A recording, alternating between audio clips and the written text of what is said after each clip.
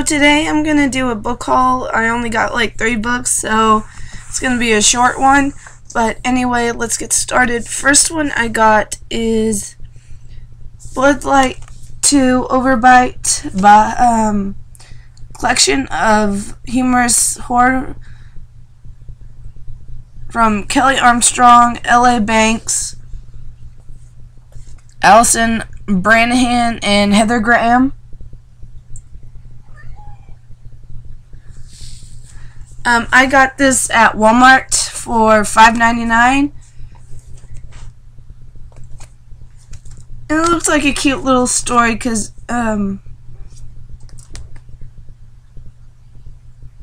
cute book and funny stuff. And I like the cover with the vampire teeth and the braces and all that stuff. So there's that one. And the next one is The Hollow by Jessica Verday. I got this at a local bookstore. I mean, a local thrift store. And this was, I think, a dollar, uh, a dollar fifty. I think. And here's the, the spine. And this is, this looks like a good story. A book.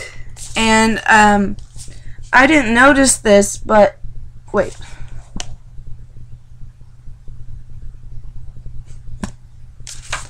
Is it in purple?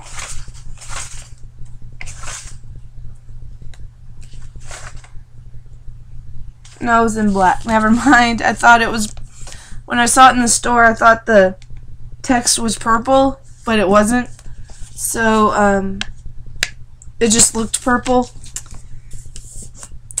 the hollow. And I also put all the authors' names down below.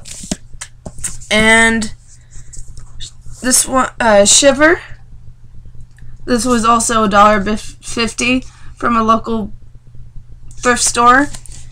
And I opened this up. And I don't know if you can see it, but the text is blue and I opened it up. I didn't know that it was going to be blue. And I also kind of wanted to read this book anyways. And I think it's a series as well. Um, I think there's like...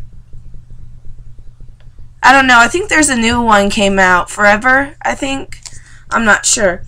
But the, this looks like a good book. And this one did too.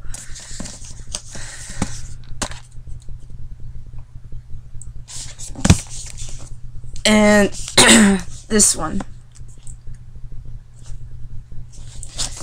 Thank you for watching, and I'll be back with another book haul and a book review. Bye.